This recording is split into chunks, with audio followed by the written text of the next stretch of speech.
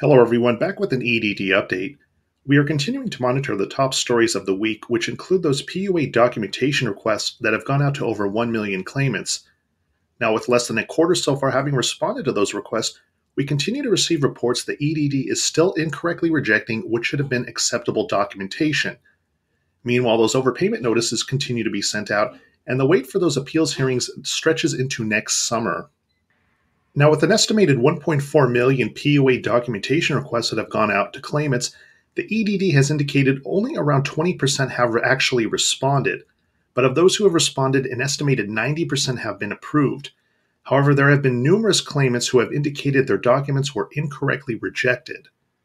The type of documents you need to submit will all depend on your previous employment situation before filing for that PUA claim. The item you will want to submit in either situation that is most likely to be approved is your federal tax return for the tax year prior to filing for that PUA claim. If you are self employed, then you will want to include your Schedule Cs.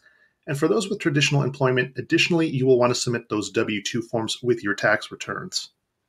Now, if you find yourself in the position of having those documents incorrectly rejected and believe they in fact should have been approved, Obviously, there is the appeals process, but what you will want to do before filing that appeal is contact the EDD and speak to a Tier 2 representative who will have the ability to re examine your submitted documents while on the phone with you to see if a mistake was made.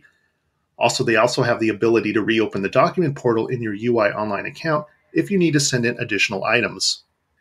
We continue to hear from a number of claimants that their document rejections have been in fact reversed when speaking to a Tier 2 representative and goes to the point of inconsistency among those who are responsible for reviewing work history documentation. Now, for those claimants who have received the notice of overpayment, they will have the ability not only to appeal the notice, but request an overpayment waiver to have any money owed to the state forgiven if the claim was not fraudulently obtained and they can prove financial hardship.